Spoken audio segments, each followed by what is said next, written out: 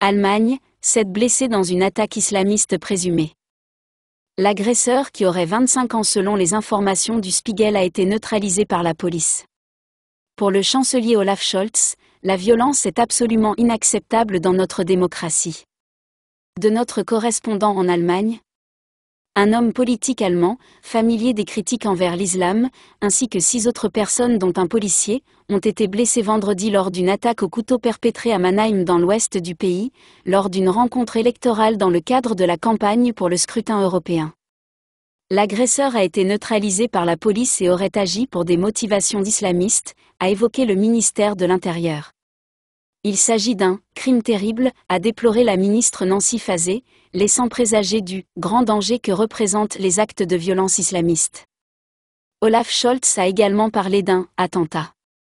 La violence est absolument inacceptable dans notre démocratie, a écrit le chancelier sur X. Les attaques contre les dissidents et la police sont un coup de poignard au cœur de la démocratie, a déclaré pour sa part le maire de Tübingen, Boris Palmer, ex-figure du Parti vert.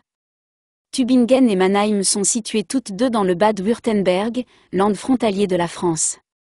Une vidéo montre l'auteur de l'agression, qui porte une barbe fournie semblable à celle de prédicateurs islamiques, se précipiter avec un poignard muni d'une longue lame sur un homme en train de monter un stand sur la place du marché de Mannheim. Les deux personnes se retrouvent alors à terre. La victime est alors atteinte au visage ainsi qu'à la jambe, tandis qu'un policier tente d'intervenir. Grièvement blessé, notamment à la tête, ce dernier se trouvait vendredi soir dans un état critique. D'origine afghane, l'agresseur aurait 25 ans et se prénommerait Suleiman, écrit le Spiegel, mais n'était pas répertorié comme radicalisé. Sur les photos du meeting politique, prises après l'agression, se dresse un drapeau israélien ainsi qu'une affiche appelant à Stopper l'islam politique.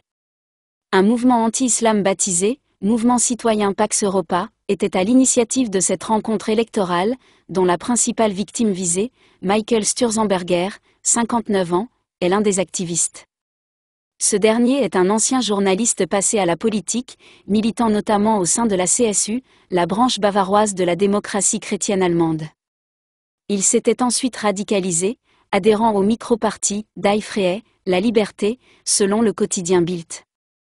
Michael Sturzenberger avait notamment milité contre les activités d'une mosquée à Munich, mettant en garde contre une islamisation de l'Allemagne, manifestant notamment aux côtés du parti d'extrême droite, NPD ou de militants du mouvement anti-migrant Pegida, particulièrement présent en Saxe. Il compare le Coran à Mein Kampf, autant de sorties qui l'ont amené à être surveillé par le Bureau de protection de la Constitution, service secret.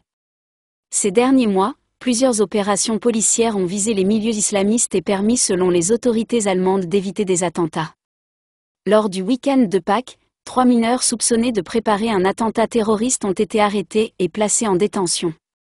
Le 19 mars, deux djihadistes afghans présumés soupçonnés d'avoir préparé un attentat près du Parlement suédois avaient été arrêtés en Thuringe, ex-RDA. Fin décembre 2023, trois islamistes présumés, soupçonnés d'avoir envisagé un attentat le soir du Nouvel An contre la cathédrale de Cologne, Ouest.